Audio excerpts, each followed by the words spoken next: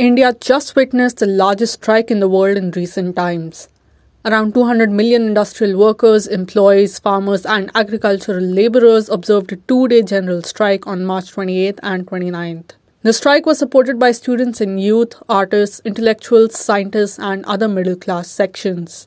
The last two years have seen a further deterioration of the living standards of working people due to the pandemic and the lack of enough policy interventions by the Modi government. Some of the key demands of the protesters were abandon all attempts to privatize public sector undertakings, provide income support of rupees 7500 or 98 US dollars per month to all non-income tax paying families, increase allocation for rural job guarantee scheme, extend employment guarantee programs to urban areas, provide universal social security for all informal sector workers, at the moment, only about 10% of India's 400 million strong workforce is covered by some form of social security. Provide statutory minimum wages and social security cover for 6 million scheme workers. Scheme workers are primarily women who do crucial jobs like providing frontline healthcare services, childcare services, etc.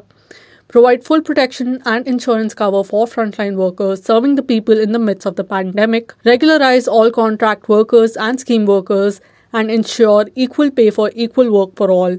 Scrap the four labor codes. These codes allow employers to increase the workload on workers, make it more difficult to get fair wages and form trade unions, and reduce barriers to firing workers. Provide minimum support prices for crops. Minimum support prices is a safety net given to the farmers to ensure guaranteed minimum prices for their produce. Withdrawal of all cases against farmers who are part of the farmers' agitation. Cancel the new pension scheme and restore the old scheme. Increase minimum pension under the employees' pension scheme. Substantially reduce central excise duty on petroleum products take concrete steps to arrest the price rise. Increase public investment in agriculture, education, health. The strike on March 28 29th is a challenge by working people and their families to the far right Narendra Modi government. The strike is also a fight to save the people's future and save the country.